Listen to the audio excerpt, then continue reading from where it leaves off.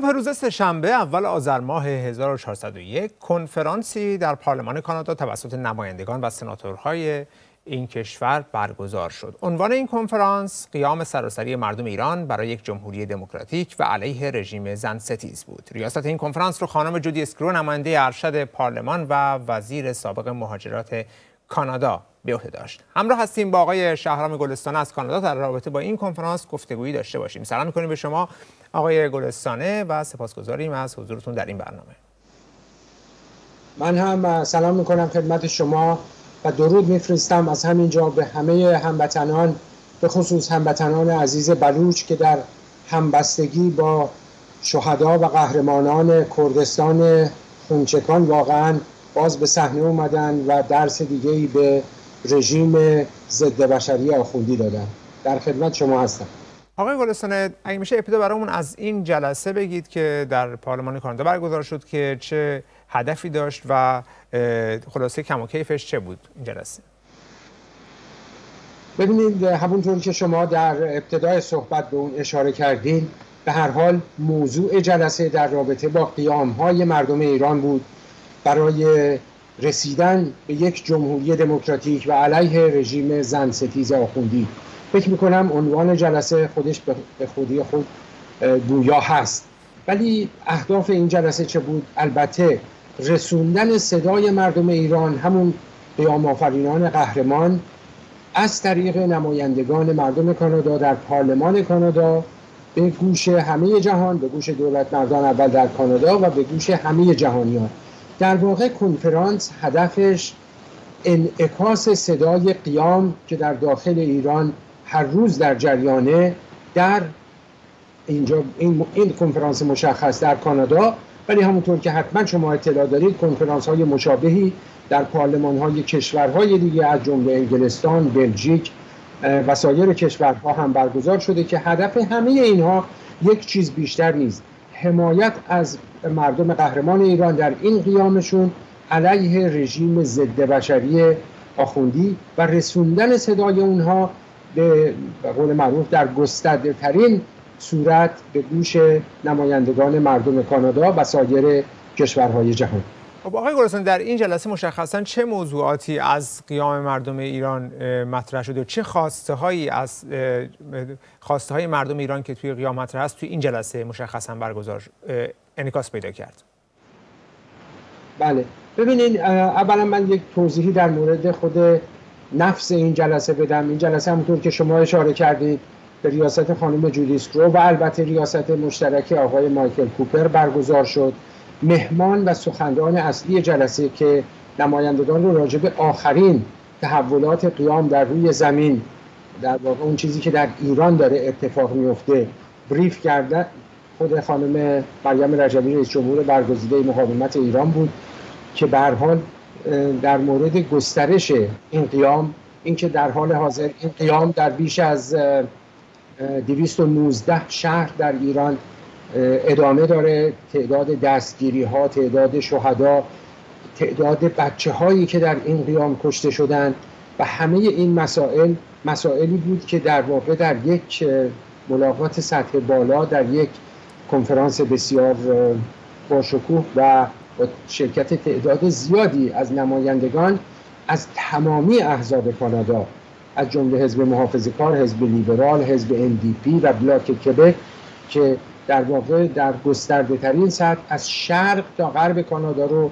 پوشش میدن همه این مسائل مطرح شد اونجا علاوه بر این نمایندگان این در واقع این فرصت رو پیدا کردن که تعدادی از اونها سوالات مشخصی رو در رابطه با قیام مردم ایران و چشماندازهای قیام و اینکه به هر حال به چه سمت و سویی داره میره مطرح کنند و برخیشون هم به در واقع به مشاهدات خودشون و نگرانی هاشون اشاره کردند از جمله تعدادی از نمایندگانی که قبلا از فلواقع موزه مقاومت ایران در اشرف سه بازدید کرده بودن با اشاره به اون و اینکه در واقع می‌تونن الان حدس بزنن به طور بسیار مادی که بر سر دستگیر شدگان توسط رژیم ایران چی داره میاد.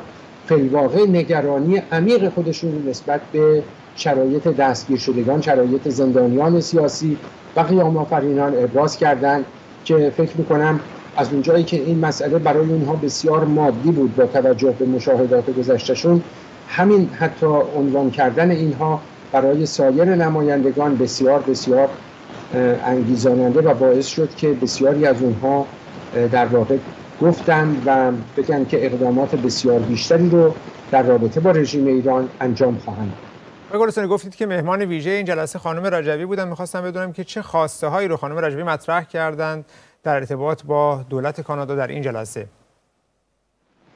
ببینید خواسته ها علاوه بر اینکه اون مسائل بریف رو عنوان کردن خواسته های بسیار مشخصی رو عنوان کردن که به طور مستقیم در رابطه در خدمت مردم ایران و قیام یک در لیست تروریستی گذاشتن سپاه پاسداران. البته همونطور که می‌دونید دولت کانادا تحریم هایی رو علیه سرکردگان سپاه و همینطور یک مجموعه ای از تحریم ها رو علیه سایر مقامات رژیم اعمال کرده.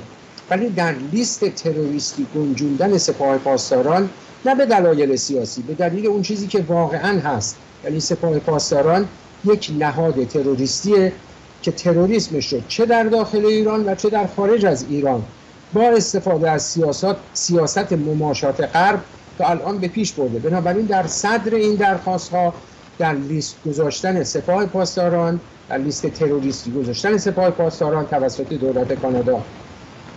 در واقع درخواست بعدی معرفی مشخص کردن مشخص کردن در واقع عوامل رژیم و معرفی عوامل رژیم و عوامل سپاه در کانادا ضبط دارایی هاشون و گرفتن پاسپورت هاشون در واقع سلب شهروندی که خب می‌دونید در سالیان گذشته کانادا متاسفانه به یکی از پناهگاه های امن مقامات رژیم ایران تبدیل شده بود.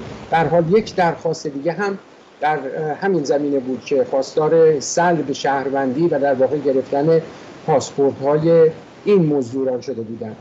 درخواست سوم هم در واقع به رسمیت شناختن حق مردم ایران برای دفاع از خود در قبال این همه وحشیگری رژیم از طرف دولت کانادا و از طرف کل جامعه بین المللی در همه مجامع بود که این هم به هر حال فکر می‌کنم در صحبت هایی که اونجا بین خود نمایندگان هم صورت گرفت گفتن که این امر بسیار واضحیه ولی باید حتما روی اون بیشتر کار بشه و به صورت مکتوب به عنوان یک موضع گیری مطرح بشه. گلستان خیلی یا بعضا مطرح میشه در رابطه با تاثیرات چنین جلساتی چون شما گفتید جلسات دیگری هم برگزار شده. به نظر شما این جلسات چه تأثیری در روند قیام مردم ایران می‌تونه داشته باشه؟ ببینین بیش از همه همونطوری که همون اول هم گفتم در همه صحبت رو هم در قدیم و الان هم دارن میگم طبیعتا اون چیزی که در ایران تعیین کننده است همین فداکاری ها و کارهایی که های شورشی و مردم قهرمان ایران از شرق تا غرب از زاهدان و بلوچستان گرفته تا سقز و بانه و زنندج و شهرهای خونکشان کردستان گرفته تا رشت و شمال و جنوب و خلاصه همه جای ایران این اون چیزیه که تکلیف رژیم رو مشخص می‌کنه. اما در این راستا طبعا وقتی که مردم و قیام ببینن که صدای اونها در جامعه بین المللی شنیده میشه در واقع یک کشتگرمی مضاعف پیدا می‌کنن که ببینید کارهای ما الان در پارلمان کانادا در پارلمان انگلستان در اقصانقات جهان داره منعکس میشه و مردم به اون نگاه می‌کنن. همونطور که دیدیم برای اولین بار فکر می‌کنم در تاریخ سازمان ملل نشسته اضطراری شورای حقوق بشر در رابطه با رژیم تشکیل شد و به با اکثریت قاطع آرا در واقع قطنامه تشکیل کمیسیون حقیقت، حقیقتیاب در این شورا تصویب شد چیزی که تا الان سابقه نداشته.